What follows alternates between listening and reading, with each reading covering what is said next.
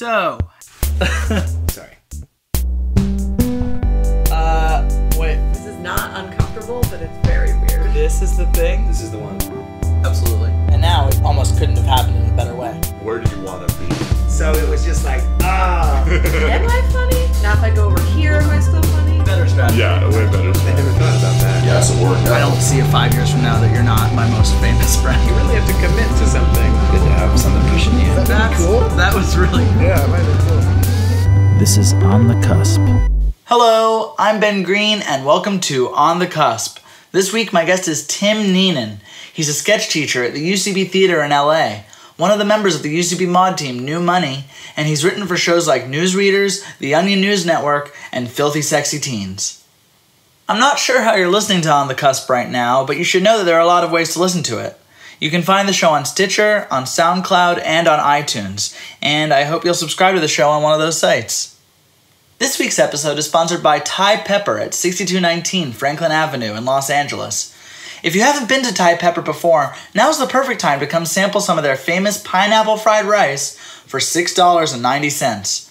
And while you're chowing down, don't forget to use hashtag more Thai Pepper please on Twitter, the only official hashtag of Thai Pepper for summer 2015.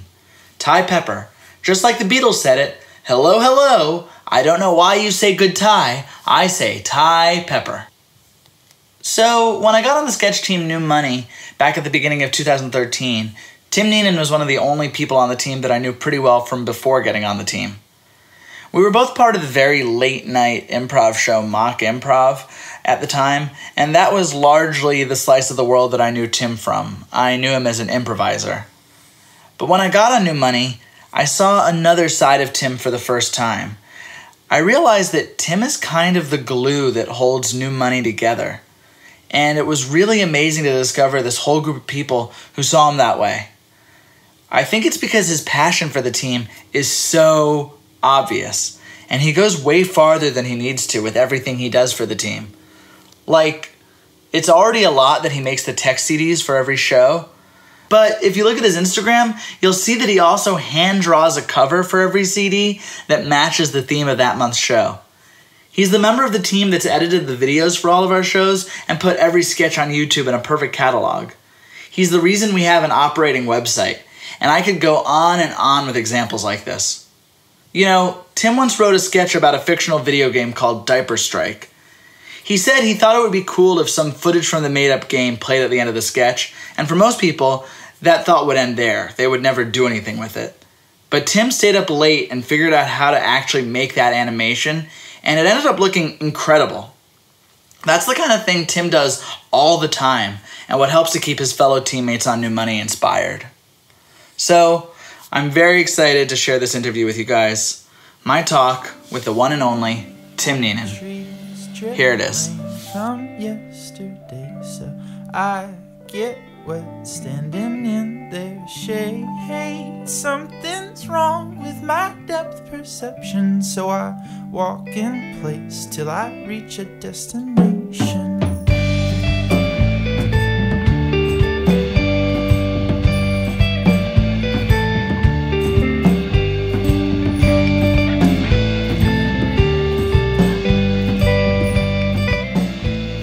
So, you were up till 4 a.m. last night watching the movie Babadook.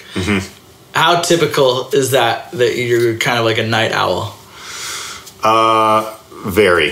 I do. I, I stay up very late. Like I'll stay up till dawn a lot, and it's not good because I also then don't sleep all day. I will have to go do something at like nine or ten in the morning, uh, and so um, it's horrible.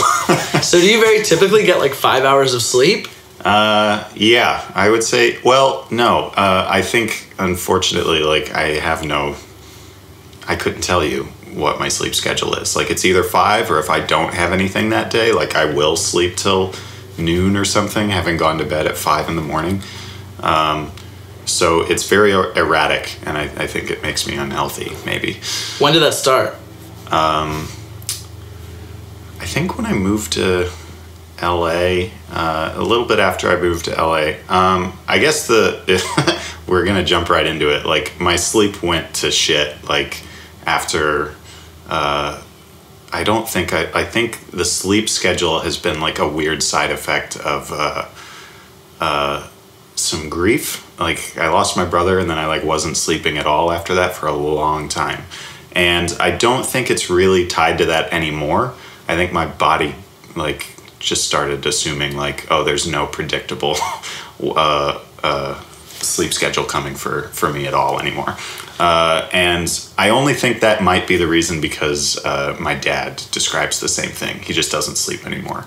Uh, and he absolutely thinks it's like still tied to that because he is uh, dealing. I mean, he's a parent, so it's different. Um, but yeah, he still has a hard time with it. Um, and my sister, same thing. She's got like a weird sleep schedule.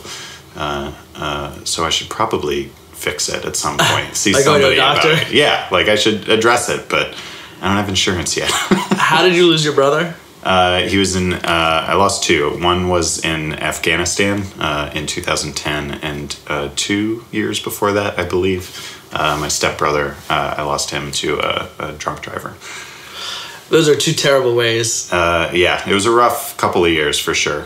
Um, 2008. Yeah, I think it was two years because I lost Jeremy, the stepbrother, right before I moved, uh, and Brendan, uh, my uh, biological brother, uh, uh, right after I moved. And is your staying up late still like connected to grieving? No, not at all. That's just why, you yeah, formed that habit. I, I really think I formed the habit as a result, and so like it's, I would bet a million dollars it's a hundred percent fixable at this point, and I just haven't gone to a sleep specialist or just gotten some. I don't know. I'm also very like uh, f- uh, phobic about medication. Like I don't even really like taking aspirin. Um, I don't know what that's all about, but like I, I really just like don't like doing it, and I, I would hate to like have to be prescribed something. Like if it turns out I need Ambien, I'd be very bummed out and probably wouldn't take it. Uh, because I don't know why. I have no answer for why that is. Uh, well, we'll talk about uh, more about what we've just talked about later. Okay. But you were born in Alabama. yes. Uh, and what town in Alabama? Uh, I'm from Enterprise, uh, which is adjacent to Fort Rucker, which is the Army's uh, helicopter flight school. Uh, so I was actually born on Fort Rucker because when I was born, my dad was but a uh, pilot, and um, now he teaches flight school. So um, yeah, born in the, the town that is sort of next to it and feeds off it, and, and they have this kind of symbiotic relationship, the base in that small town. Um, uh, uh, born there uh, until I was two or three, and then we moved around a lot, uh, as Army families do. Um, but I'm still like very much from Enterprise, Alabama, because uh, when my dad became a, a flight instructor, uh, there's only one place to do that, and that's an Enterprise. Uh, so he uh, was stationed there when I was in th- the tail end of third grade, almost fourth grade, and I've been there. I had been I've been there until I moved to LA, um, which was a nice experience because I didn't have to move around in high school and junior high like so many kids I knew did. What does it mean that your dad was a pilot and a pilot in the army? Mm-hmm. So, what was that job like? Uh, I don't know. I wish I knew more. I guess. I mean, I know he flies helicopters. Uh, uh, I Like he's like seen action. Uh, s- uh, very little from what he has told me. Like I know that there was a like the closest it ever came. Like he was not in any major war uh, in our time, uh, but he um, he does have a story about getting his uh, like so below your feet is glass called the chin bubble, uh, and you can see straight down. And his chin bubble was shot out by uh, uh, you know the guys growing whatever poppy seed, whatever they make drugs out of in Panama. Uh, Really? he, he was like flying over that because I, I again I'm making a lot of this up. I don't know what his job was, but there was some form of, as there is in Afghanistan now, there was some form of uh, policing of the drug trade in Panama uh, that I'm sure he was. Uh, had to fly some missions for, and uh, I'm sure those guys growing whatever did not like that and uh, shot at him. But I think that was like that's as scary as he's ever told me it got. Yeah, there could be things he's just never told me about. He does he love flying? He still does it. He retired officially from the army in 2000 and he is still doing it as a contractor in 2015 and like I think we'll just keep doing it until they ground him on on, on physical like like you don't pass the physical anymore. You're very old, uh, which is who knows, twenty years away. I don't know. He loves it. He I think that's. I took a lot from my dad. He was a very good dad, uh, but the one of the biggest takeaways, like just watching him as a kid, was seeing uh, someone love their job and to chase that because he loves going to work. He's still he's a teacher and he loves that aspect about his job. I think um, I think he's always loved his job, but you can tell like he extra loves going to teach flight school and dealing with twenty you know twenty year olds uh, uh, who have just decided they're going to fly helicopters. Um, he loves it. Yeah. That's great. And what did your mom do, uh, like, as you were traveling around? Uh, my mom was uh, at home. I guess she raised us. Uh, the army like requires that he was at work a lot, and so yeah, somebody needed to be around. Uh, she worked briefly. I remember when we were stationed in Korea. Uh, she got like an office job. Uh, I'm sure just to like keep her sane a little bit. uh, and we had um, uh, uh, a woman named Mrs. Che who would stay at the house with us and, and cook us Korean food while my mom was at work. Um, but then when we were stationed in Panama, she was at home uh, just raising us. Um, and then uh, she was diagnosed with cancer like at the tail end of our time in Panama. And they, um, the army was like really great about it because uh, also in Alabama is this really incredible cancer research uh, hospital in Birmingham, uh, and they were like, uh, it was really, it was like everything aligned. They were like, well, Hugh can go to Rucker, and he's going to be a flight school instructor, and that allows him to be stationed in Alabama permanently, and his wife can be treated at, at UAB. And so, yeah, like for that, so we moved back to Enterprise, um, and then uh, yeah, it was like until 1998, just uh, like her, she was being treated for it until she passed. She was diagnosed at what point? What year? 93 or 94? 93, because I was, yeah, uh, in the tail end of third grade. And how would you consider yourself as having like a happy childhood up to her diagnosis? And how did her diagnosis affect you after that? Um, happy, yeah, for sure. Like I was, uh, uh, it, it was, I was so young, like eight years old. Like, yeah, I remember being happy, uh, um, as happy as like any eight-year-old kid. Yeah, the, the, my parents' marriage was good, and uh, uh, so there was no like internal strife that way. Uh, and yeah, I think like her being so sick because like they they did not give her very long, and like she really did like aggressively pursue like every possible avenue, and it was never because she. I don't think it was ever because she talked like she was going to beat it. Uh, she would say like out loud that like she just wanted to get to my sister starting kindergarten, uh, which was five years out. Uh, and she did it. She like died like right after Katie started kindergarten. Uh, but it was, uh, it's tough to watch somebody like, in retrospect, like, I don't think I realized it because you're a kid and like, that was just, it's weird to be a kid and like the default is just yeah my mom's sick. Like it's not weird to you. It made every like my friends uncomfortable if they came over and so no one wanted to come to my house because i had a very sick mother in like bed in her room. But like it's it's it's funny like what you just adjust to and you're like that's that's regular life. Um, but yeah in retrospect it's brutal to see somebody fight like a cancer that's fully winning uh, and just hanging on no matter what. Uh, uh, and I think that might have like made me a weird kid a little bit. Like I was definitely a weirdo, and How are you weird? uh, it was tough to like be friends with me. Like I think I was just like in general annoying, and I think there was like kind of even if I wasn't consciousness of it, there was definitely like just this cloud of sadness at home uh, for me and my brother and my sister. And uh, I I don't I yeah I I guess I couldn't int- like intelligently say like why that made me weird, but uh, uh, yeah, I don't know. It was tough to make friends. I could tell. Like I've always been pretty aware when somebody like doesn't want to talk to me. I actually like that about myself. I can tell when somebody like if I'm at a party or something, and I'm clearly, oh, this person doesn't want to be talking to me. I'm gonna let them go. Uh, I, I'm I'm very like scared of being that person you're trapped in a conversation with, maybe to a fault.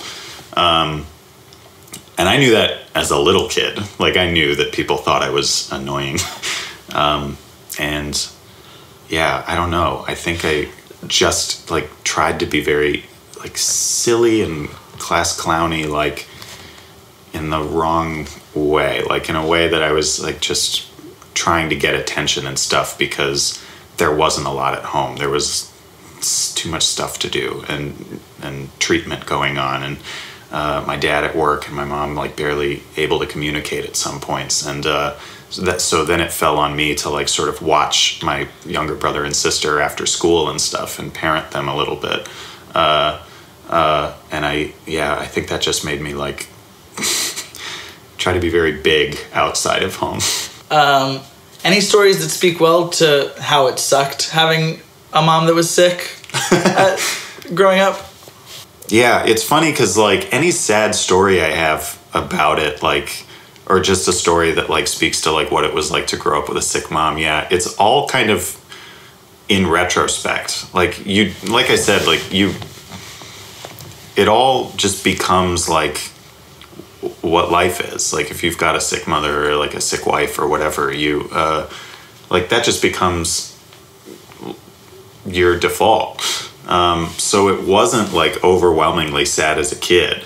Uh, it was it's it's all in retrospect, like thinking like what a weird childhood I guess that was. So yeah, like, it, and most of it just makes me feel terrible. Like the yeah. Uh, so when she uh, when you know other forms weren't working or it was becoming more aggressive, she uh, decided, all right, we got to, we got to go full macrobiotic diet, uh, which is just lots of like brown rice and and and beans and stuff. Um, and I remember like me and my brother just like bitching incessantly about it. Like she'd serve dinner and we'd be like, oh, like I hate this stuff. Like really just being awful children.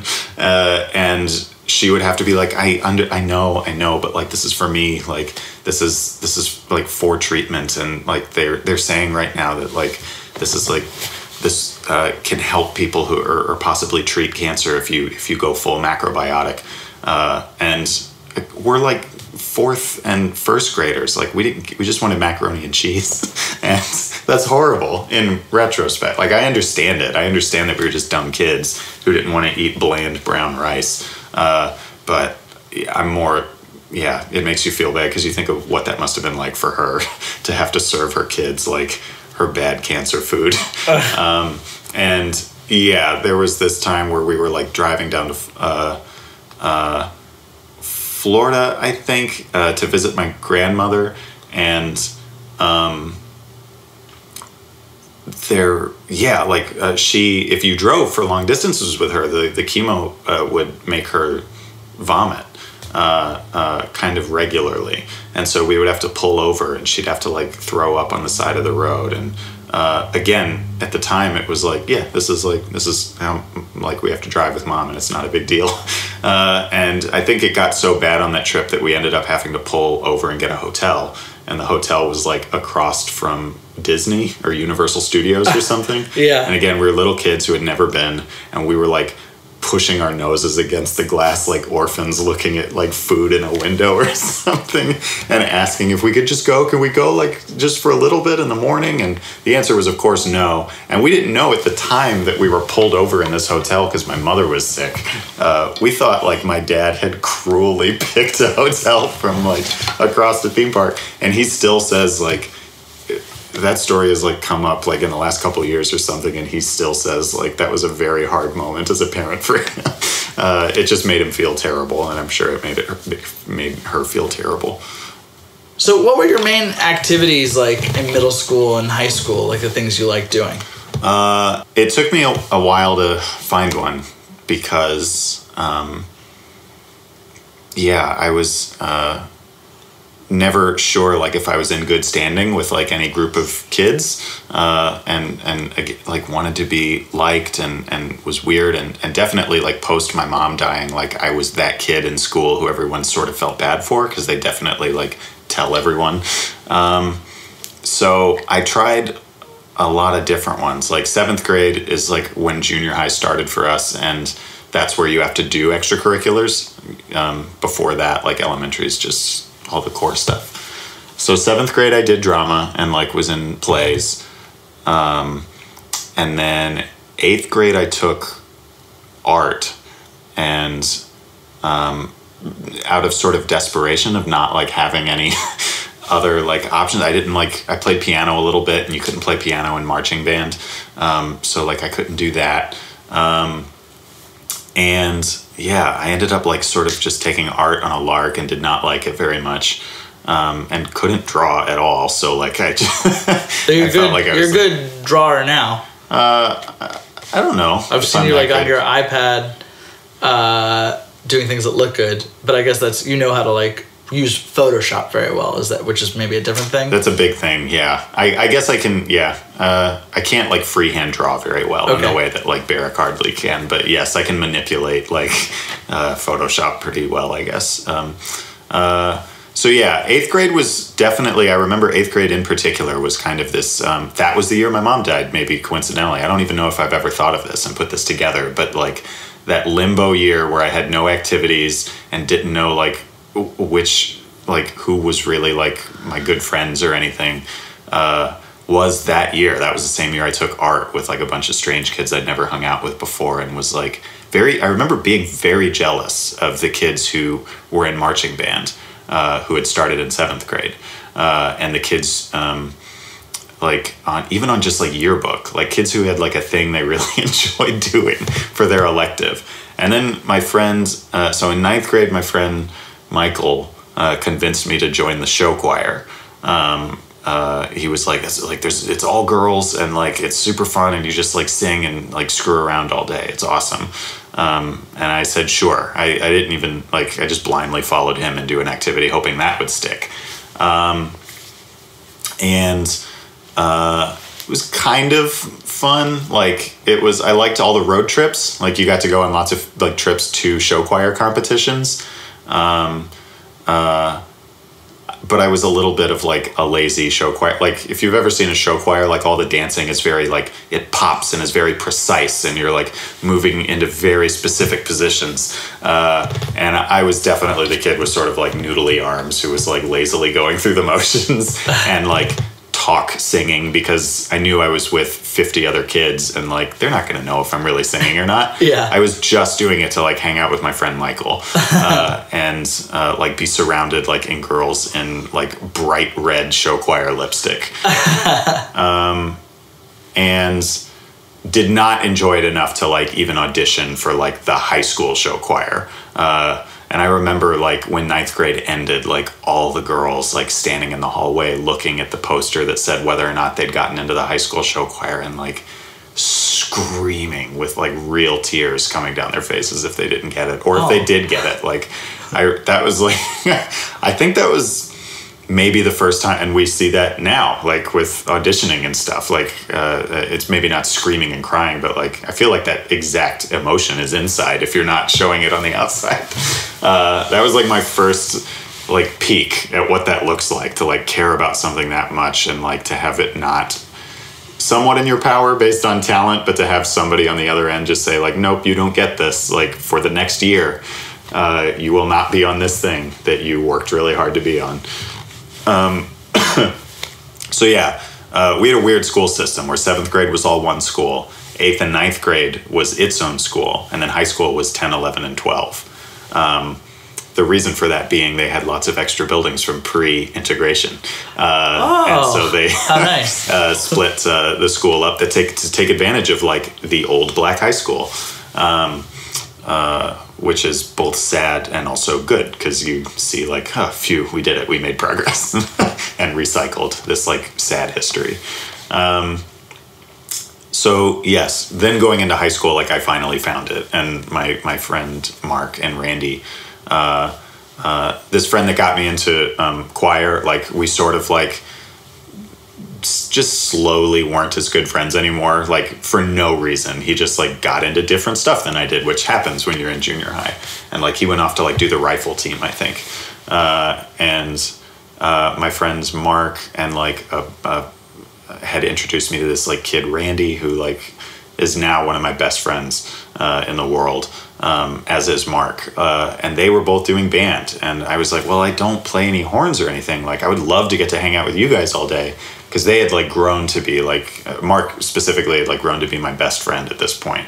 Uh, and I would love to, yeah, like be in bands. And they introduced me to the drumline guy, and he was like, "Oh, if you play piano, you can be on the drumline. Uh, we have like mallet instruments and marimbas and xylophones and stuff." And uh, uh, he spent like an afternoon with me showing me how to play those. Uh, and I knew how to read music, so I knew rhythm and could also like work the timpani and some of like the background percussion and stuff, and had no idea I could uh, do that. Uh, I, I didn't know that like uh, there were elements of like music ability that you could transfer to other instruments. I thought I just played piano, and then I was like, oh my god, I play like nine instruments and didn't know that. Uh, and then high school, like now it was fun. Like now I was in a thing that I loved doing, and like the group I like for the first time ever, like my group of friends like liked me, and uh, it, felt like I was on equal like footing and and good standing with the group of friends I hang out with. Where I was always like the sort of annoying one before that. Um, and oh my god, it was so exciting! Like the first band practice I went to, I I was like my like heart was beating. I was having such a good time and thought this was so cool. And I had this like loud drum instructor who like yelled at you when you didn't get like who was a good teacher, but absolutely like that sort of whiplashy like why are you not getting this? And i loved it. Like i was like yes more please. Like uh, uh, it was really really fun. And so i did marching and symphonic band like all through high school. Um, and and while there like learned how to play other instruments and like uh, got to go on like awesome band trips and like I, I did this thing called indoor drumline which is like this sort of um, stomp e kind of program uh, that like is a national program and you get to go to ohio to do like the final uh, you know we went to like the world championships in ohio as part of indoor drumline which was like a you know, off. It was the off season of marching band indoor, and it's all percussion and mallets and no horns or anything. And like, there's dancers and choreography, and you put together like basically what amounts to like a stage show you might see in Vegas uh, at the high school level. um, and like, those are like all my favorite high school memories is doing indoor drumline. Um, and like, my dad got super involved with it and like wanted to drive the band truck whenever we did uh, trips. And so, like, my dad and Mark, my best friend, his dad, uh, who was also like in the army, uh, our dads were also friends. And so it was very fun to like watch my dad and Mark's dad like be the two dads that ended up driving the band truck. And they would like, uh, they drove like, looking back, like, my dad drove this immense, like, carrier truck full of uh, heavy, heavy drums and mallet percussion instruments that couldn't get over 45 miles an hour to Ohio for our championships uh, from Alabama. And like, he said he loved it. He said he was like having such a good time, and it was like him and Don, like driving to Ohio, pit stopping to get like beer and cheeseburgers, uh, uh, to like watch their kids like do this fun drum thing. Oh, that's Um, great. Yeah, I really loved it, and it ended up like I all this time like I'm getting into comedy also on my own time and movies, and like I know who directs and produces things the way like no other kids knew that, um, and I remember like feeling the tug like man I wish I was doing drama because I wanted to do that too. Uh, but you couldn't do both in my school and like all my friends were in band and I, I guess like it still like was the right decision um, uh, but I do remember feeling a little pained that like I couldn't also do the plays and stuff because it was like this big big big interest I had that nobody else shared. I had no friends that were also into movies. Uh, all my best friends like didn't really care, and they would like take my recommendations, and I could usually argue like well what movie we would go see that night, but like nobody ever like wanted to talk about theme afterwards. Which And was I- like what at that time? What what were the ones you loved the most? Oh, oh man, I, I I don't remember high school. What came out when we were high school? So like the big summer stuff would be like that was like when the Matrix and the new Star Wars movies were coming out, and like um, I don't know, like little movies. I don't know. It was it's weird because like when you're in early high school, like what I think of as like discovering real movies was stuff that people have long ago discovered. Like I had to do the crash course in high school of like going back through Tarantino's library and then like from there figuring out what influenced him and finding the old westerns. Uh, uh, and um, so yeah, my list of movies that were blowing my mind at the time are the same as everybody else's list of movies. Yeah. Uh, but yeah, I remember pointedly, like I do remember Fight Club, um, which I'm like, I don't really watch Fight Club anymore, but I do remember Fight Club being the first movie I saw that broke my brain a little bit, telling me that before that, like all movies were just what my parents would rent. Like all movies were Forrest Gump, uh, and like had that arc. Uh, I, I truly didn't know that you could do anything else uh, as a ninth grader. And then I saw Fight Club, which was just not a movie I had seen ever before. Um, uh, that wasn't Top Gun or something. Um, and I remember that was like the birth of it. My aunt showed me that movie actually. She was like, "You should watch this." I was visiting her, and she knew like she was she like I could tell she was like renting me some movies she knew I wasn't allowed to watch. And I remember Fight Club breaking me a little bit. Even just like the plot twist in Fight Club I was like, "Whoa!" They like lied. They lied about what was going on in the movie. I didn't know you could do that. Uh, and that led to like digging around in Blockbuster and uh, the internet to find out like what movies I should be watching. How at peace did you feel with your mom's death in high school, and how much did you continue to grieve it? Um, I think kids are pretty resilient. I was in eighth grade when that happens, and like it's devastating. Like my dad put us all on his lap, really. Like he called me and my brother and sister and like before school. We were already getting ready for school, and he had left to. Uh, she died during like a r- routine treatment. It wasn't like at home.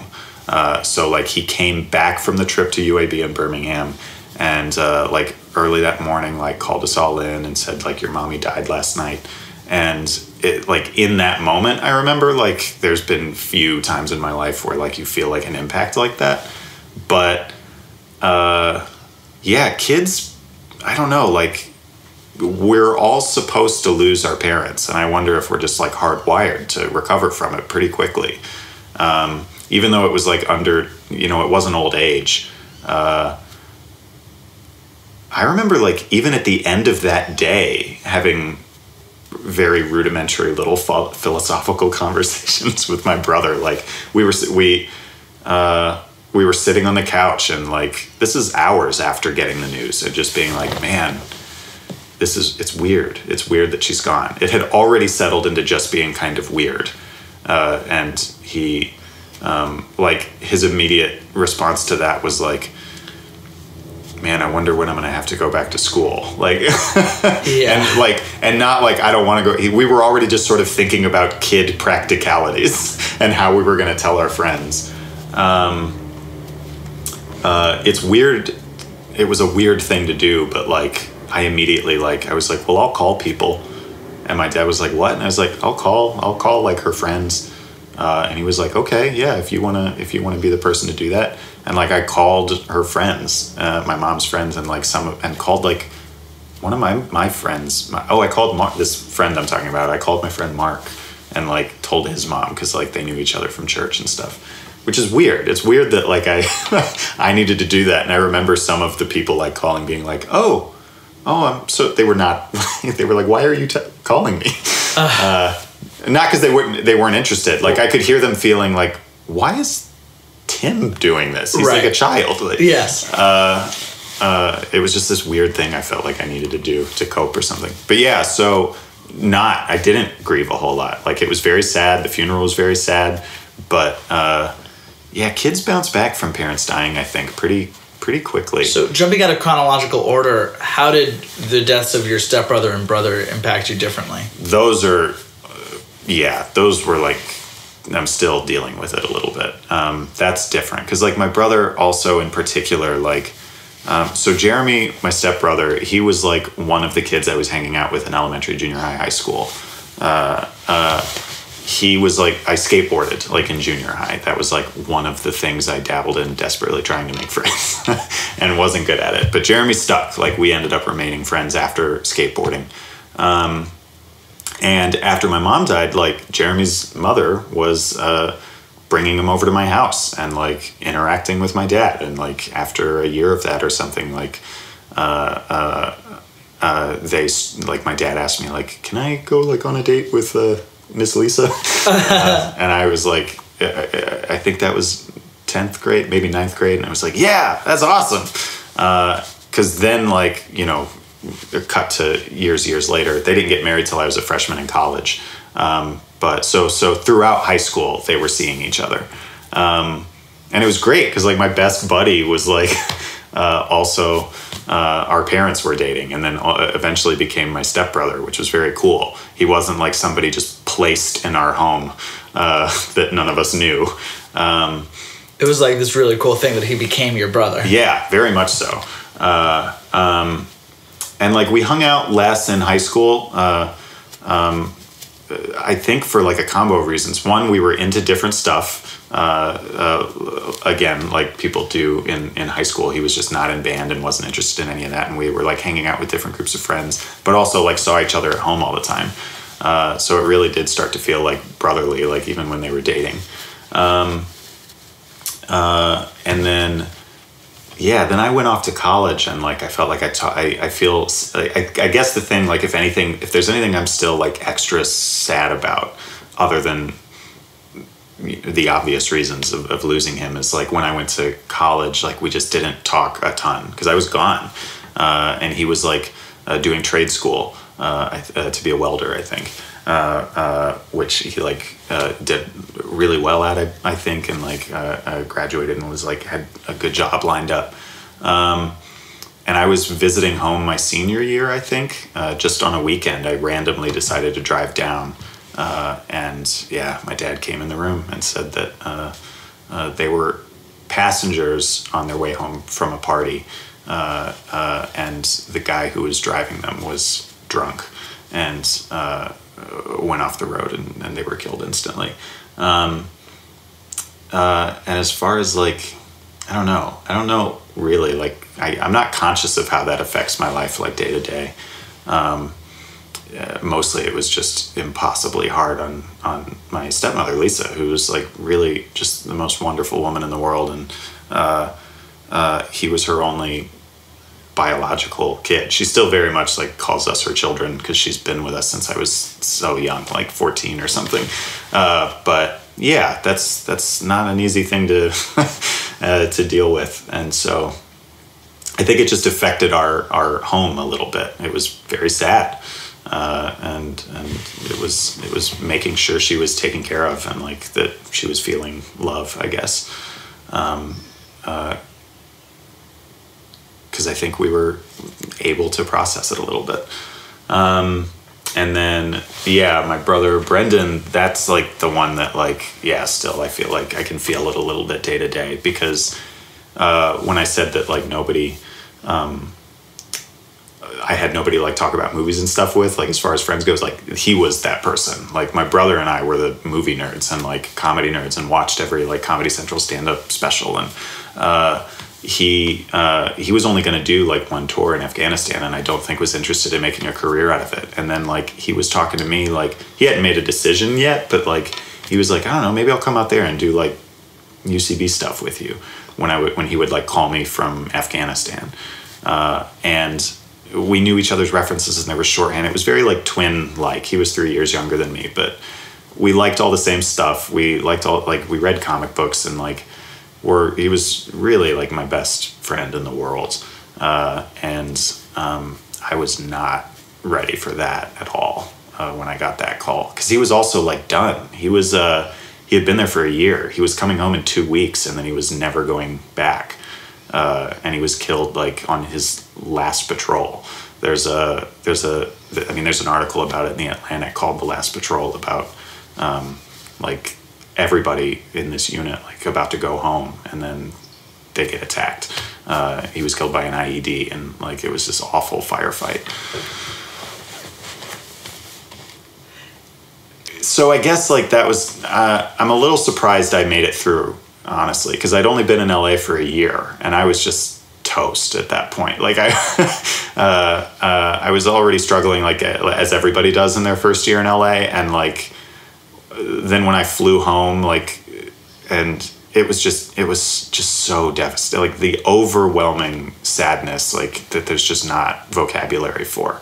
Uh, uh, just oppressive like from from uh, through every um, section of the family. Like people flying down and, and driving up from florida and just like this is my great uncle john uh, my dad's uncle like very bluntly at the funeral was like this is the worst thing that's ever happened to our family in any generation.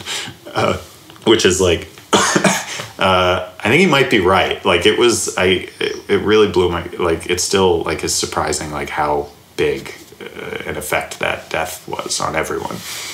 Because um, he was so like just wonderful and lovely and kind in the way that i'm not that as kind as he is. Uh, and um, you know wanted to find he, uh, Kyle Bosman reminds me of him a little bit. The way they're just, like he's just like, uh, I don't know, it's probably fine for people to like that thing.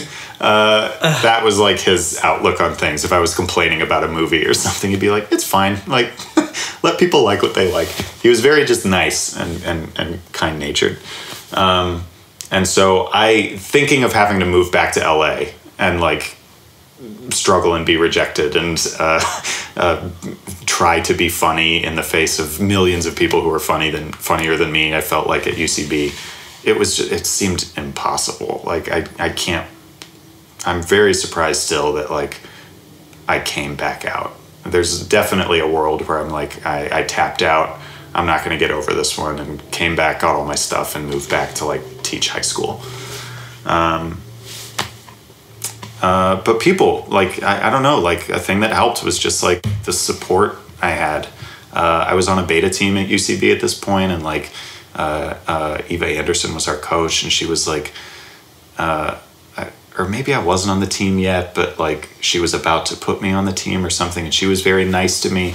Uh, and i don't know like she, she was like very cool to me in a, in a time that like i was very sad and bummed out about everything um, uh, Adam McCabe was like very uh, McCabe uh, was very cool. Um, and like checked in on me to see how I was doing because like we'd, we'd met at this point and we're hanging out a little bit or just seeing each other at the theater. Um, so yeah, just like having people that were sympathetic uh, helped a lot. Um, yeah.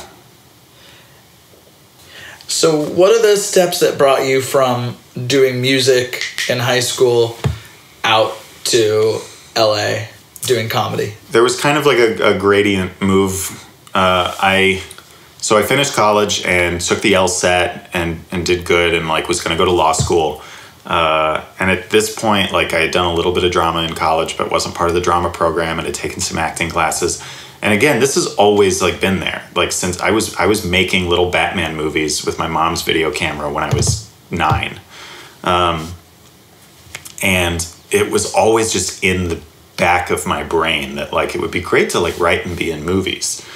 Um, but in Alabama, like there's just no access point or like there's no uh, people who like grew up in maybe uh, cities like at some point like you figure out like oh yeah people can just move to la after chicago nobody does that in alabama anyone at all uh, so it took like going all the way up to like taking the LSAT that I was like, wait, am I going to be a lawyer? Like, I don't, no part of me wants this. Like, everyone told me I would be good at it uh, as far as like parental advice and like my grandparents uh, saying I would make a good one. Like, the family thought I would make a great lawyer.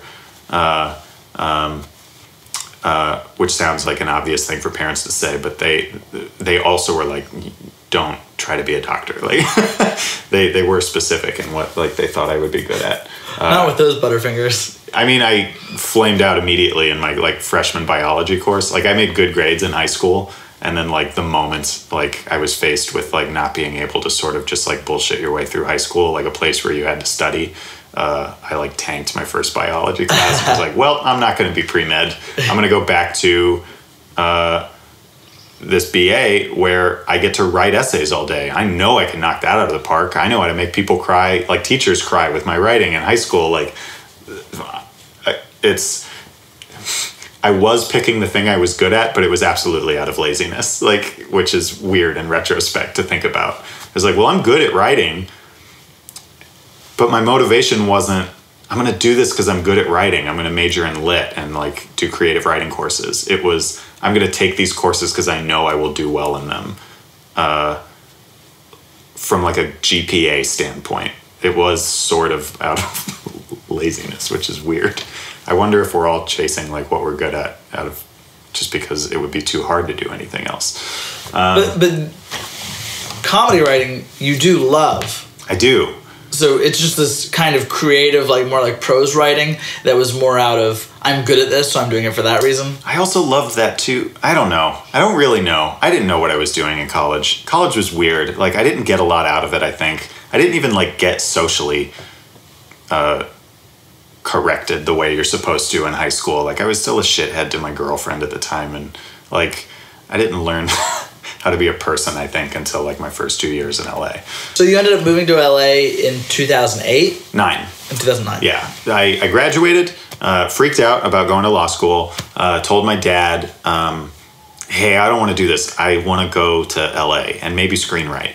And he really surprised me by saying, uh, yeah, okay, do it now. I mean, like, don't wait. That's great. Uh, uh, he, and not immediately now. He said, he actually said, do wait. He said, come home, please, for six months and save some money because you're going to lose it all immediately. And he was absolutely right. Um, so yes, uh, so then I moved home uh, and got a job as a bank teller, uh, which is also like not just saving money to move to LA, but like I was six months from moving, eight months maybe, um, and that could have gone wrong. I could have not have ended up moving to LA. Like oh, I know all my friends thought it was like all talk, like yeah, sure, whatever. You went to college and then you moved back to the same small town you grew up in. Um, but that bank teller job was the thing that maybe cinched it. Like it was like, whoa, I can't, I cannot live here anymore. Because in a small town like Alabama Bank, like people are very friendly and open with their bank tellers and will spew whatever racist, horrible thought goes through their minds, uh, uh, um, eh, or you know, homophobic missive because like there's some dude that looks a little gay across the room to this woman cashing her checks and she wants to comment on it. Like it was it was real despair working there. I uh, i really like hated every second of it. Um, and some of the people i worked with were wonderful but just like it was once a day you would be faced with something that really was like you heard someone say something really ugly um, and i try to like defend my hometown a little bit sometimes uh, because it was like adjacent to a military base and was a, a melting pot more than other southern towns.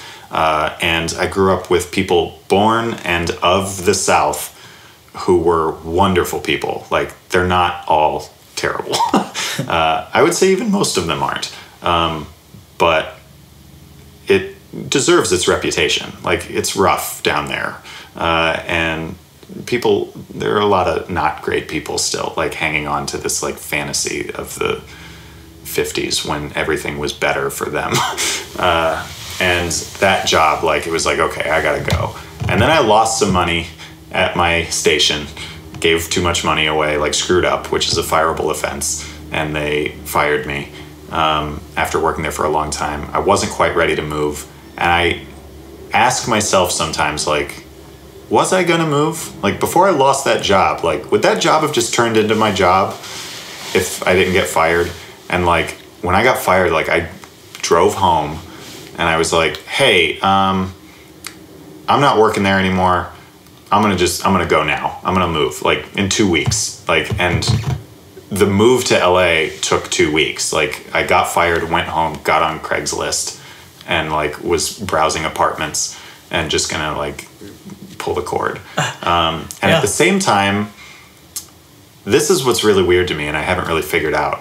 While I was doing that, I saw the Musicians Institute was in LA, uh, which is like this post grad like uh, kind of pop music. You learn to go play guitar in the way that will get you employed in the music industry. So like graduates like get the guitarist job on the Katy Perry tour or whatever. Like learn how to be a working musician.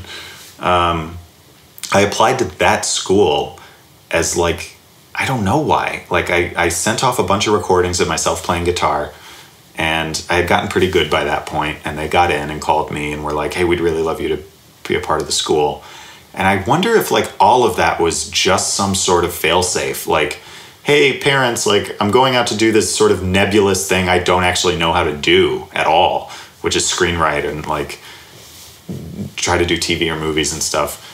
But also like I did get accepted into this like school that teaches me how to like have a job in the arts. And I don't think anybody cared. Like I don't know. I got out here and never went to the school. Like they they, they ate my deposit, uh, uh, an application fee. Um, but I ended up finding a roommate on Musicians Institute's uh, roommate finder. Oh, good. so I didn't have to do a Craigslist stranger, and that was great because I ended up living with this guitarist for the first like eight months, who was so cool. Like this dude Brandon, who I think is now back in Philly, but like he was going to the school and was such like a cool, chill like roommate to uh, make that first year in LA a lot easier. I don't even think it was a full year. He was maybe only there for six months. Um, but yeah, and then once I was here, um, yeah, started doing started going to UCB, like sort of just looking for my way in.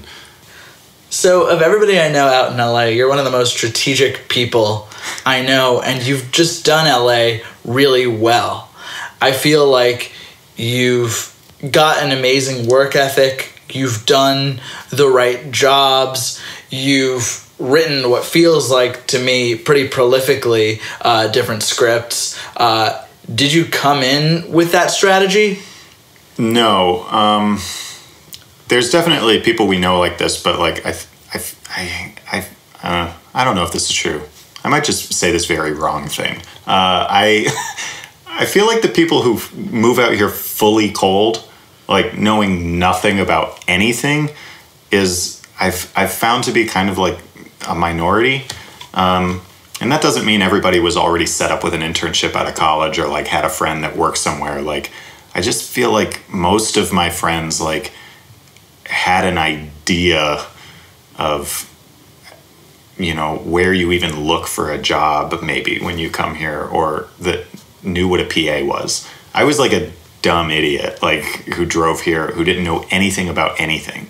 Uh, and so no. I had no strategy whatsoever. But i was i was even as a tiny kid and and, and then moving out to la and now uh, i'm intuitive. I know i'm intuitive for sure. I know i can read how things work pretty well. I think if more so than strategy certainly more so than talent i think i have lucked into jobs or done well at jobs because i kind of can read how things are supposed to go. Um, so I moved out here, uh, was in this weird one bedroom apartment with no furniture with a fellow guitar player.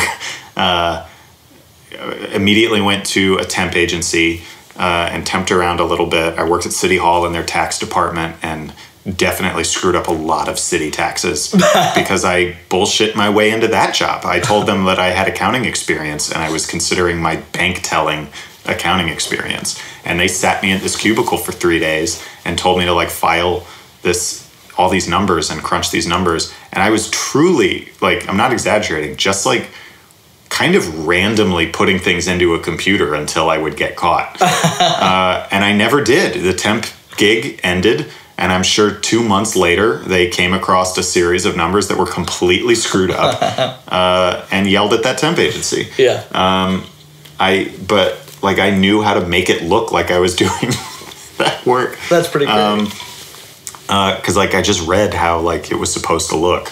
Um, and then I then the next job I got from that temp agency was a plastic bag factory in Vernon, this like horrible industrial wasteland like south of downtown. Uh, and I worked there for like six or seven months, uh, and it was death. Uh, and at that time, when I got that job, I was also working nights at the Palladium and the Wiltern, the, the, the concert venues here. and that was kind of cool because I saw every concert that came through LA for almost a year, um, and had finally like taken my first UCB course. Um, and my first two, I think. I think while I was at the Bag Factory, I took. Uh, I, at that point, I might have been in improv two and sketch one. Um, I wasted a lot of time there. Um, and so, yeah, that was very much like, uh, I don't know, like trying to hold an armful of water. Like I was always exhausted. And I was like working eight to five during the day and then working until two in the morning at the concert venue. And then if I wasn't at the concert venue, I was like maybe interning at UCB by that point. Or no, I wasn't interning for the first half of the bag factory. I was just taking classes. But yes, some and then on weekends taking the classes that I could afford. Uh, and then near the tail end of the bag factory gig, that's when I lost my brother. And like I got the call.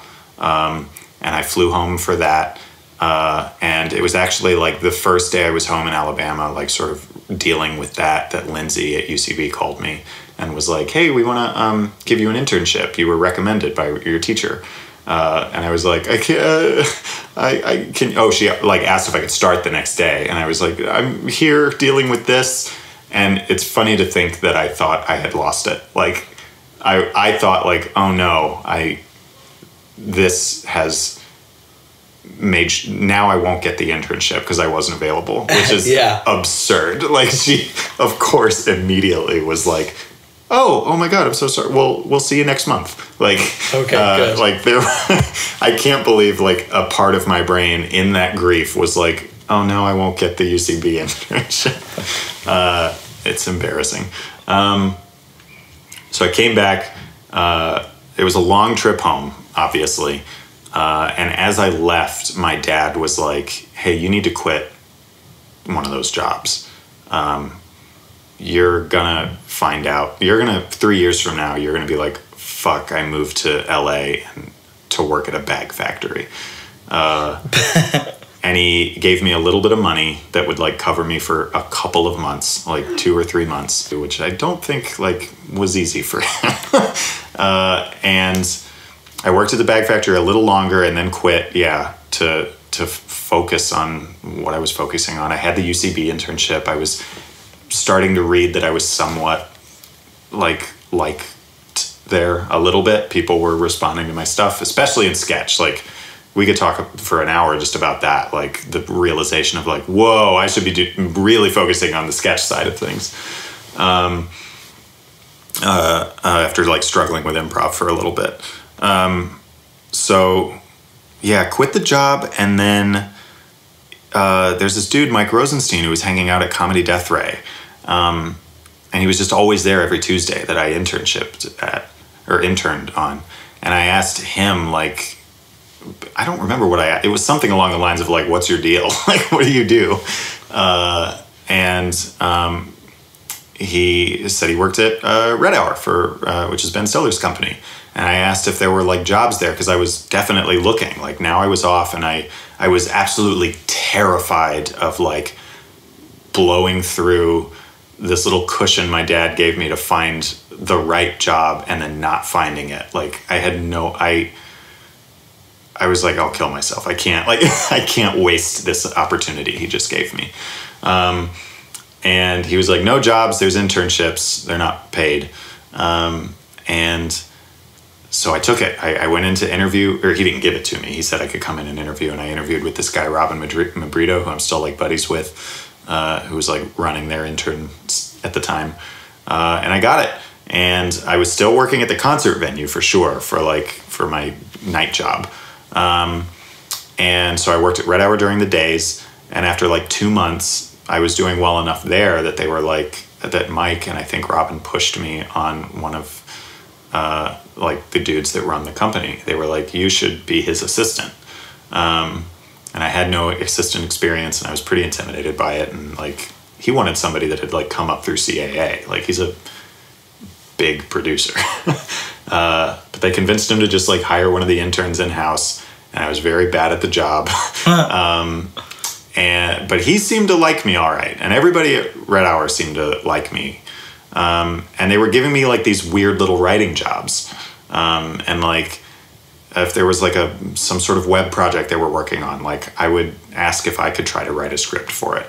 Um, Yeah, I remember you doing something with a trailer. Uh, Yeah. While like that you were talking about when we were in Chris Kelly's uh, Sketch 201 class. oh wow! I don't think I remembered that we were in Skip Chris's 201 class together. Yeah. That's very funny. Um, It was like it's also funny that I talked about it. Allie Horde. Yeah. Oh man, Allie was so funny in that class. Her sketch about um, Red Lobster uh, and like the game was that like they were just throwing all kinds of things through cascading water in, in Red Lobster commercials. Like that's still one of my favorite sketches I've ever read. yeah. Yeah. So that's that's funny that you remember me mentioning that. Um, yeah. So yeah, they just sort of generally liked me, but also like he was very upfront about the fact that I was bad at my job. And after months and maybe five six months of doing that, he was like. You can't be my assistant anymore. Like you can't forget to tell me people called. uh, and he was right. I was bad at this job. Um, or, or tell me people called too late. Like I, I, I was okay at like staying organized, but like I had no like, I couldn't read the way the industry was supposed to work. Like I couldn't read like the subtleties of like how you accidentally insult someone by like not calling them at the right time or something, and I didn't want to know that stuff. It's it's it's the part I don't ever want to be super familiar with because it's annoying. Yeah. Um, you should either be not involved in it or above it. Right. He brought me into his office and said, "We need to find you a writer's assistant job, uh, or that's what you should be doing." And this is where, like, yeah, preparation meets like opportunity because my friend Whitney had just decided she was not going to be the writer's assistant for Paul Scheer anymore on NTSF on Adult Swim, and uh, I. She asked me if I'd be interested in interviewing, and she brought me in, I think, before uh, to interview to be a personal assistant over there to the guy who produces all those shows. Uh, and our friend Laura Chin ended up getting that. Um, so like I think they'd seen my name before, and she was like, "You should come in for the writer's assistant job." And I told Stuart, my boss, I was doing that. And he was like, "Great, that's what you need. Great, that now I can fire you," uh, which he was going to do anyway. But he, he was like, "This is good," like because I think he he likes me a little bit.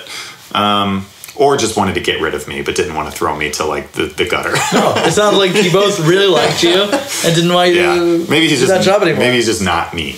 Uh, so I went in and interviewed, and immediately after the interview, I was like, "Well, I didn't get that at all," because it was just a weird interview. Like I sat next to John and talked to him about what I wanted to do in life and like that I wanted to write.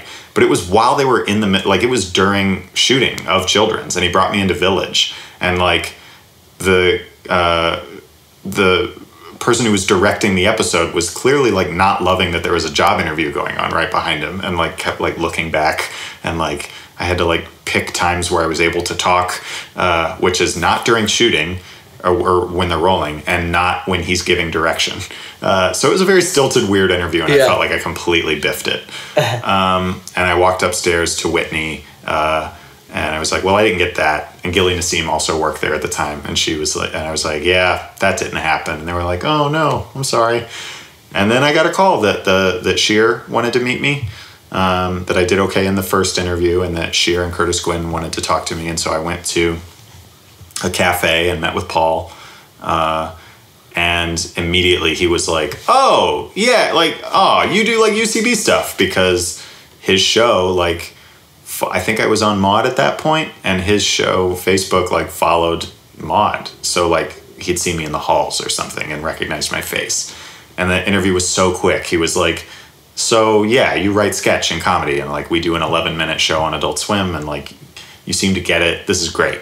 Uh, we got to meet with some other people, but I love this." Uh, and um, then he hired me, and that's like I think where everything changed. Then I was able to quit the night job.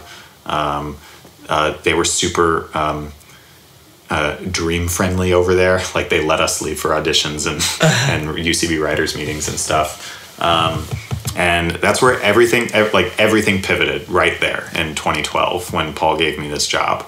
Um, because then I was the writer's assistant on all their shows, Children's Hospital and Newsreaders, and so my first like uh, after Red Hour, like my first entertainment job is working for Paul Scheer, Rob Corddry, David Wain, Ken Marino. Like these are people I was obsessed with before Yeah, I moved oh, here. it feels like a lucky job to have gotten. Absolutely, it was a lucky job. Like I that like that's the point where like I had something to do with it because I successfully interviewed for it, but like it's kind of overwhelming sometimes to think about the fact that if that job didn't come along right then, like none of this could have happened. Writer's assistant jobs are hard to get, uh, from what I understand, and like I sort of like got lucky and and and was recommended to the right one. Um, who knows what I'd be struggling, toiling away at um, if I didn't get that one.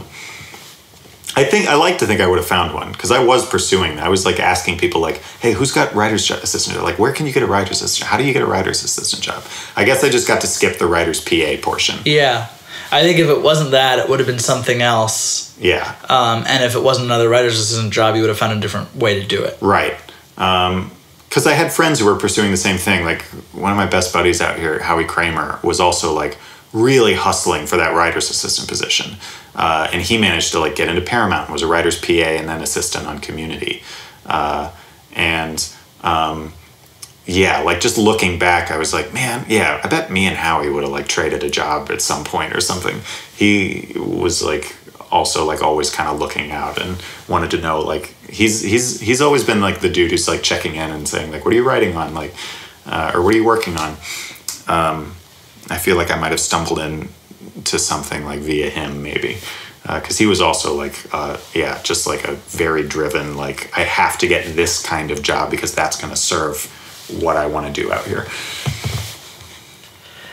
For a while, I was trying to feel out how much of a gamble that whole writer's assistant thing was because I saw friends who were doing it and would get stuck in it for like years. Um, but you were like an example of that thing working really well. Because how did it end up? Because you went from being a writer's assistant eventually to being staffed on newsreaders. Yeah. How did that happen? Uh, it's not common, I know, because there were writers' assistants before me that didn't end up doing that. Um, and I think it's generally encouraged anyway. Like, I feel like that's on purpose. Like, I feel like they want you to writer's assist and then outside of that, get your own writer's job. I don't. I don't know. I don't really know how much promotion there is from writer's assistant to writer, but I think it's uncommon. Um, and it was, I don't know. I was just, I knew how to read it. Like I I think I I in the room like I knew when they didn't want to hear from me. I know they don't want like you don't I don't know, you don't want to be too vocal and like distracting from the actual writers who are trying to crack a story or something.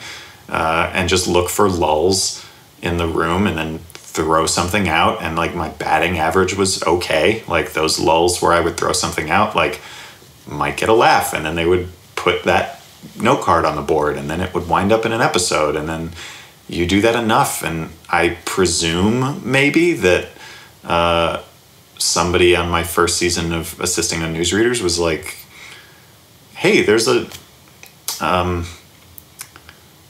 there's enough of those pitches that it's noteworthy maybe that i got in.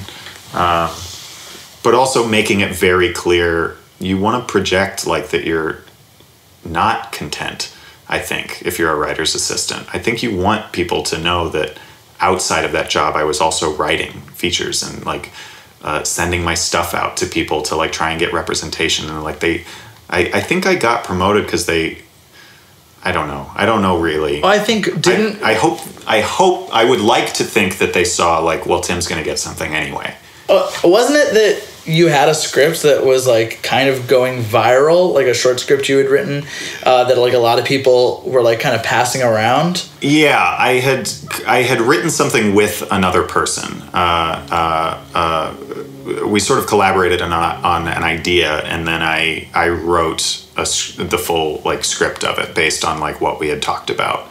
Um, but that had sat around for years. I hadn't done anything with it. I, I still sort of considered it their project because they sort of came to me and wanted help with cracking this idea of theirs.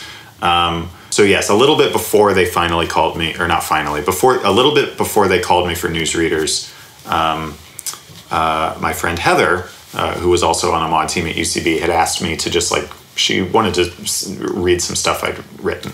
Uh, she asked me at her birthday party, and yeah, uh, I had some samples. I had a pilot. I had this short script that I had written with this other that I collaborated with with this other person, um, and I, I sent those to her as just reading samples. Um, and she sent it off to a manager that she knew, and the manager really liked them, My current manager, Audrey, uh, and she really loved uh, uh, the short and thought the pilot was super funny. I wrote like this Adult Swimmy kind of wrestling pilot that you've read, um, and so she was like, "I would love to represent you." Um, and so then I had a manager because like the right person had passed my my material to a manager, uh, and um, so then like she sent my samples to a couple of people and then sort of out of my control a little bit in a way that like made me really uncomfortable and scared a little bit. Like my stuff just kind of got spread all around. Uh, and a lot of people responded um, uh, uh, to the samples i guess. And then i got newsreaders. And then based on my uh, uh, samples that i'd given audrey uh, the agents like were interested in me. Um, at like the big like agencies which was like crazy and weird. And like it all happened in two months. Like i went from being a, a ucb Maude writer and a writer's assistant on the show to like they they i think my boss jim margolis like called me and offered me the newsreader's job like two days before i interviewed at caa and wme or, or, met with them i should Yeah. say. Uh, and so then like in seven days i i now was staffed on a show and had like heavy what i perceived as like heavy hitter agents and a manager who all seemed to like me. And i was so scared because like i didn't have that much material. Um, the pilot was like this very expensive like cartoon that like would be a long shot. The short was not mine to do anything with uh, it was like it was uh, I had collaborated on that short and it was not mine to make. Um, so I really like I had this feature I was working on that like I really believed in, but like now I had the reps and realized that I didn't have any material to back it up. And I thought I had a lot of material before that point, and now I realize like, oh, I don't really have anything sellable. Like we could try to make this Adult Swim pilot happen, but like I have to start writing now. And so if you see any work ethic in me, which I'm very skeptical about, like it all happened in that moment. Like it was birthed there, where I was like, I have to write, write, write, write, write, write, write, because my sketch packet is only going to do so much. Like there's only X amount of job interviews you can get out of a sketch packet, and so that's where I was like, all right, time to write some movies and and and another pilot, and um, uh, began working on that at the same time that I was, yeah, staffed on my first show. That experience was wonderful and not scary at all. Uh, that ruled. I was like, now like my boss was like up here. Oh man, it was so great. Like that, and it was like a little show on Adult Swim where you were allowed to be super free and goofy and pitch any kind of story you wanted to do. Uh, it was awesome. And because of your experience as a writer's assistant and being in the room at New Money, like just being in a writer's room felt very comfortable to you. I wouldn't say that I was super comfortable. I was intimidated because the other writers on newsreaders were uh, kind of like they were all older than me. One of them was like the dude you call in to like you want that guy on your first season of of everything like this this old standby TV writer. There was a some stand ups. Uh, um, I was very, I was so, I mean, no question, I was the green one in the room. This was, I was the only one doing his first job. Yeah. And so I was definitely intimidated. And um, also, like, some of the other guys were just uh, better at pitching than I was at this point. Like, they could, like, all right, what about this? And then they had nine pitches to go and were very vocal in the room. And I was like, oh, I could feel myself like being not vocal enough. And I was like, I got to get in here. I got to get in here. I got to bring in some better ideas. Um, and it, it ended up being fine. I, I ended up getting like four or five segments in the season. Um, uh, it's a fake 60 minutes show. So like each, each episode has two like fake 60 minute segments. Uh, and I got like five in, which was a pretty good ratio for that room uh, and felt fine at the end of it. But I I would not say I rolled in there very confident based on my new money experience, which is like you sitting on a couch with your six buddies, and the, the stakes are you have to put on a good Maude show, but the stakes are very uh, the professional stakes are low. Like as long as you're bringing in some good sketches, you're fine. Whereas like in in that job, I was like, well, if I'm not funny for like a week, the, like I'm dead. Like I'll never get, I'll, I won't get hired back. I can not be funny for a week on new money. I Yeah. can bring in a bad sketch and fix it next week. I can't do that at, at, at in TV. We we're going we've we've really bounced around in chronological order all throughout this episode but uh, can you talk a little bit about the experience of being on new money um, to me like you're the person who mm, of everybody on the team i think who's like the biggest fan of the team um, and there's a lot of fans of the team on the team but like you seem like you love that team I'm a little obsessed with us. Um, I think we're the best for sure. uh, uh, and I've talked to definite. Well, I've talked to all of you about it, but like, yeah, I think I've talked at length to Mary uh, Holland, one of our team members, about like they really like. It, I really think like we were, were lightning in a bottle a little bit. Like our weird energy matches in a very specific way. Uh, there's a the the um, I think nephew does as well. Like that's another Maude team where I'm like, you guys were meant to be together. Uh, I think we were meant to be together. Like I've coached teams full of great people who did not seem meant to be together. Uh, where like just it didn't gel. Um, did, did you guys instantly because i was not on the team for the first year yeah. was it uh, instant uh what's the word No, I think yeah, we all had to like get to know each other, and I feel like uh, our first couple of shows, like I think they're good shows with great sketches, but it feels a little sort of uh, generic's not the right word, but like oh yeah, a Maude night. So there's five sketches or six sketches. Um, uh, I yeah, I really like it just slowly came out. Like man after three months of like working with kyle like you realize like oh man this guy's brain works completely differently than everyone else's. And aaron has this like it infuriates me his his genius for like just sketch in general. Like he's the dude with the encyclopedia brain and can name every sketch on every show that's ever been and like just speaks sketch in the way that I don't I truly don't know anyone else does at the theater teacher or otherwise. Like he he knows ex- like I don't know he has and he doesn't care about it it seems. He's just like yeah whatever I write some sketches. He didn't really care about being on a Maude team. He, I think he he like auditioned on a whim and got it and was like all right I guess I'll do this. Uh, and yeah our actors like they're they have this shorthand with one another that like blows my mind sometimes. Like they'll make outright wrong choices i feel like on paper that just destroy on Maude night because they all clearly like love each other and uh, it's a group mind. Yeah i love us. I, I really think like we have this weird special energy that nobody else has um, that yeah i think i i would agree that i'm the one who cares the most about this. I don't think anybody else like maybe even perceives it. Um, and i would say like it grows too. Like i don't know that i would have been this effusive and like uh, starry-eyed about new money even two years in.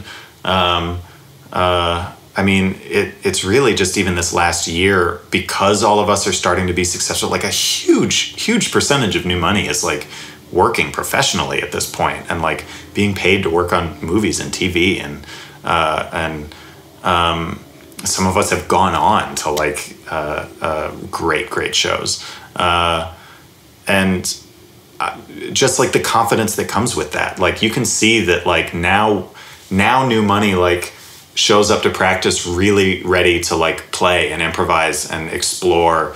And just like this is the fun outside of work. Um, coming to a head like at that play we did last december like that play like really moved me in a way. I was like oh my god we this are was a christmas play yeah, like we are really something special. I don't know that this play exists from any other team.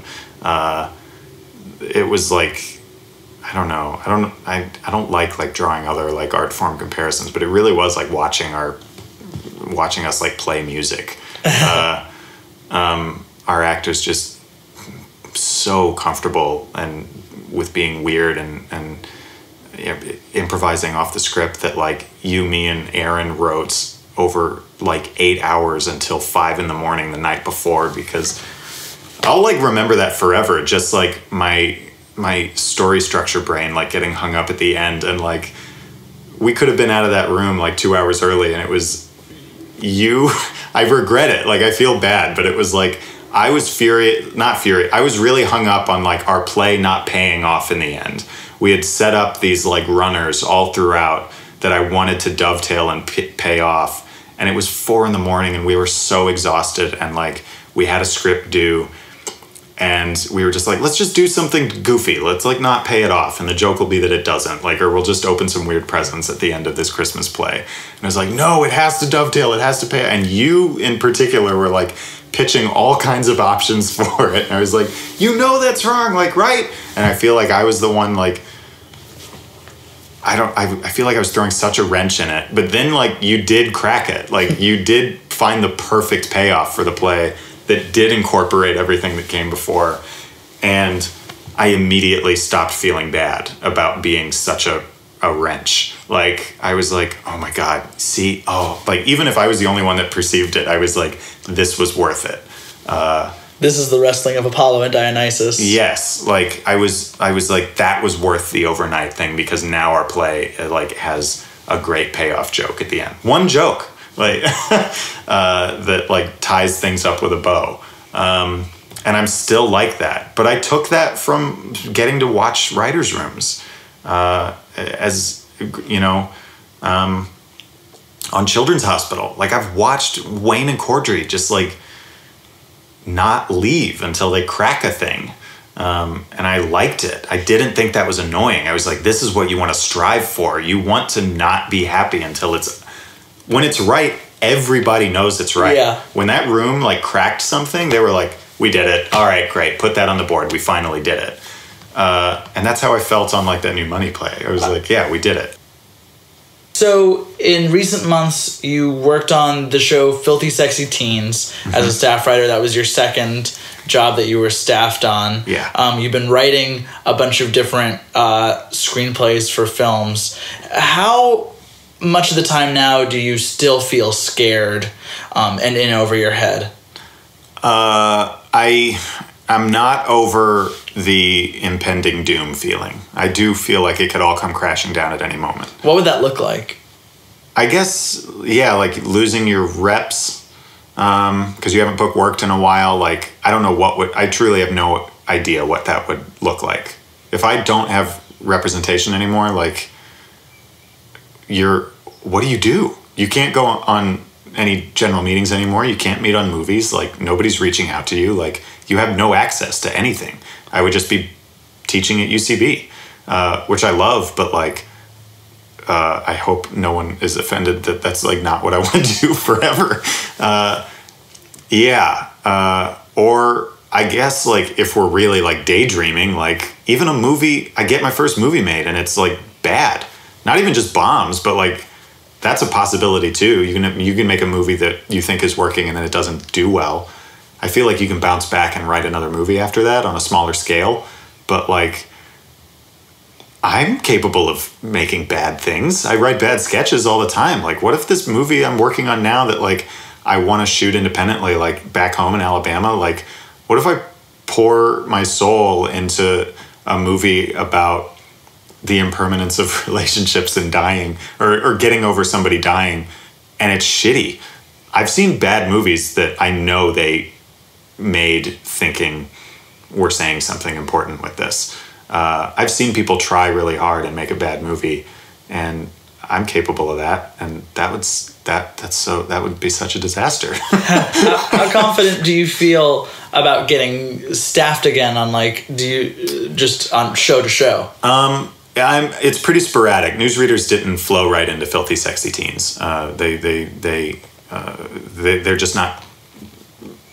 I'm not needed that way at Adult Swim, and uh, uh, the shows are spaced too far apart to like rely on that. It's always like a wonderful surprise when they call me and say like, "Hey, we want you to staff on Filthy Sexy Teens," um, uh, which is why I've really been putting all my effort into feature stuff because like I can feel that slow crawl working. I can feel my like I've, I mean, man, like I got to sit in a room and like give my pitch for like a comic book property. Like I never thought I'd get there. I, I was like, oh my god, like I'm really pitching right now, like on one of my favorite comic books of all time. Like I never thought I'd get to that point.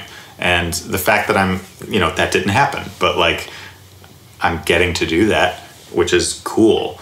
Um, uh, and I I want to I want to push for that because staffing just um, I haven't regularly staffed. It's not like that job hasn't happened. I haven't gotten into that system uh, yet uh, regularly. I think my two pilots are fine.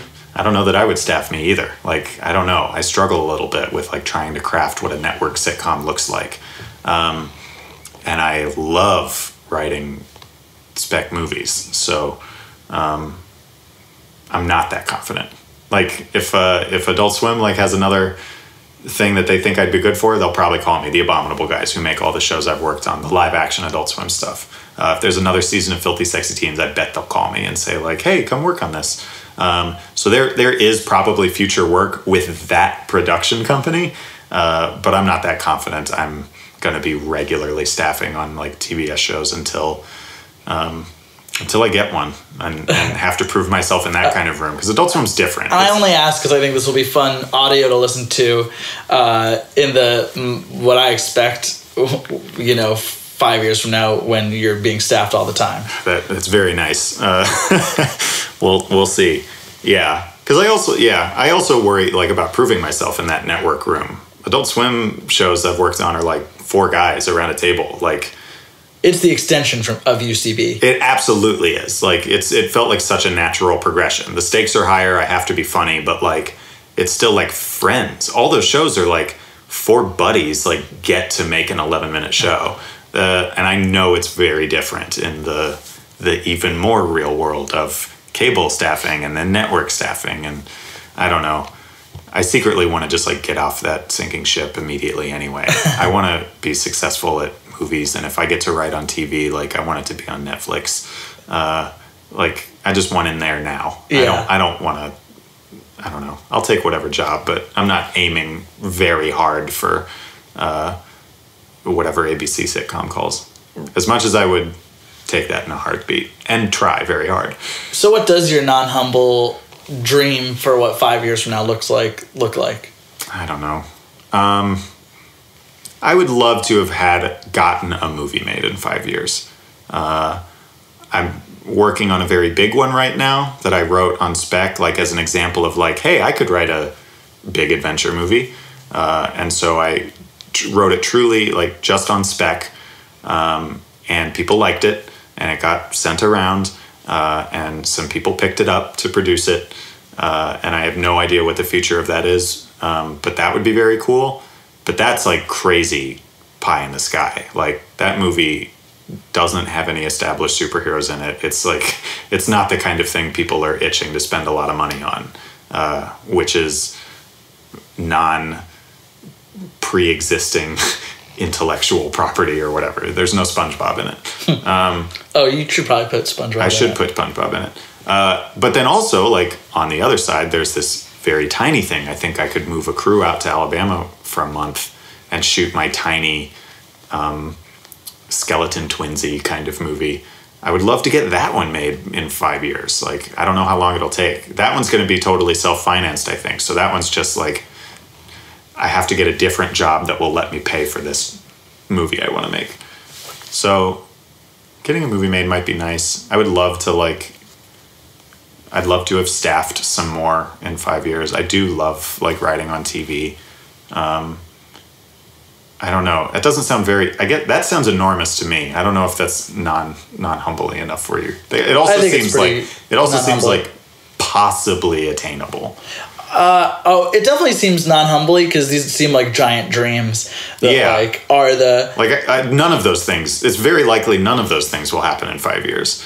Um It's, my- it's amazing that they're plausible. Yeah, yeah. The fact that like I find myself like pitching on like like yeah, I guess I've got a take on like that old cartoon from when we were. Like the fact that I get to do uh, one of those every 6 months like feels like I'm still winning a little bit. Like or or that I'm not winning, but like that I'm still making progress. I haven't gone backwards yet. Uh, and that that'll happen at some point and i'm nervous about how backwards it'll be but like everyone goes backwards at some point and um, i'm getting a little scared of how uh, how long it's been since a true step back. Um, i think all my real five year goals is like not work related like i want to get a band together. I haven't played music in a long time. That's what i really want to do in five years. I want to like get married. Uh, it's all that stuff. So, hypothetical question. Friends of your family back in Alabama, their 23 year old daughter is moving out to LA, and uh, they ask you to like sit down with her and give her advice. Uh, if you could give her like one big piece of advice, what would it be? uh, community immediately. Like uh, we lucked out with UCB, but I feel like there's still that community with people who are taking acting classes. I think, yeah, uh, first thing you spend money on after you've established that you can like afford rent and stuff is start taking any kind of class anywhere, and you are you are paying for the friends you're gonna make. Like just. Uh, we surprisingly didn't talk about it all that much, but everything came out of UCB. Every single opportunity, everything came from there. That's where I asked the guy for the internship. The the woman who uh, Whitney telling me that like this writer's assistant job is open. We only know each other through UCB stuff, and uh, um, like that community was everything. Just get get to a place where you can watch people make it when we started at this theater, we watched the people who were breaking out then, who were five years older than us, like break out. And you have it in front of you. Like you have all the million different paths you can take to break out. Uh, they're all so different, but like all of our friends that are working on things now, um, we can trace it back to where we were all like in 101 together.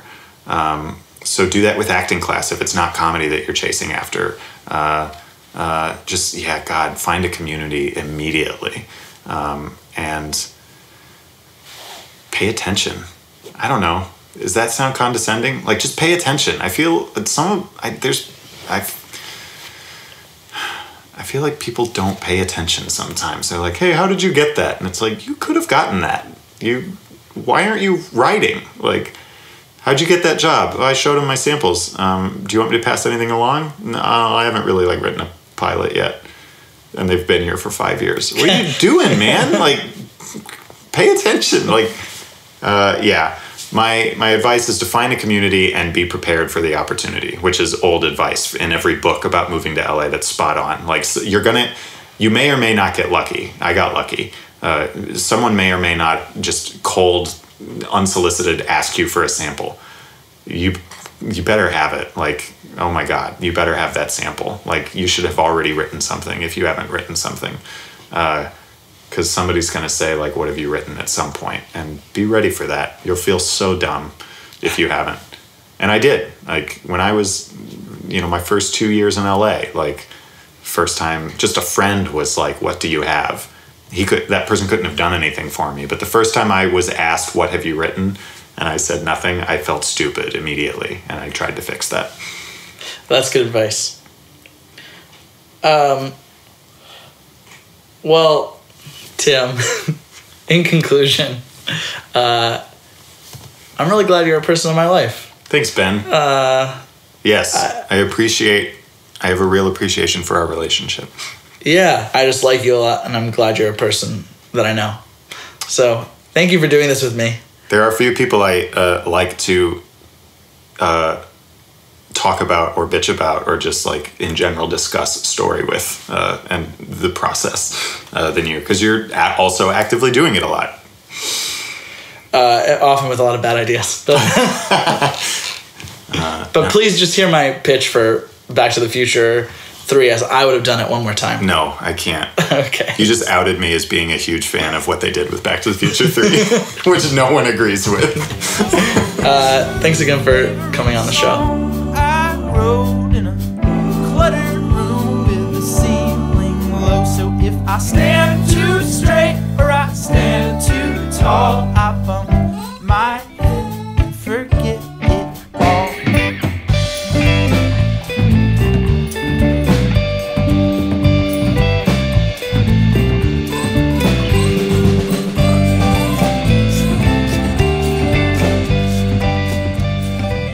So, what'd you think? That was my interview with big Back to the Future 3 fan, Tim Neenan. If you'd like to see some Tim Neenan sketches live, you should come out to the next New Money show. They happen the second Wednesday of every month. Again, I hope you'll consider subscribing to On the Cusp, and it would mean a lot to me if you'd consider reviewing the show on iTunes. I really mean that. When people rate or review the show, it means a lot to me. Special thanks to Casey Trela and the band Hi Ho Silvero for all the music in this episode, to my sound editor Joe Burge, and to my producer Cece. I can has Alexa play some good music, Pierce. This has been On the Cusp. Beanie, beanie, beanie, beanie, beanie. That's your outro music.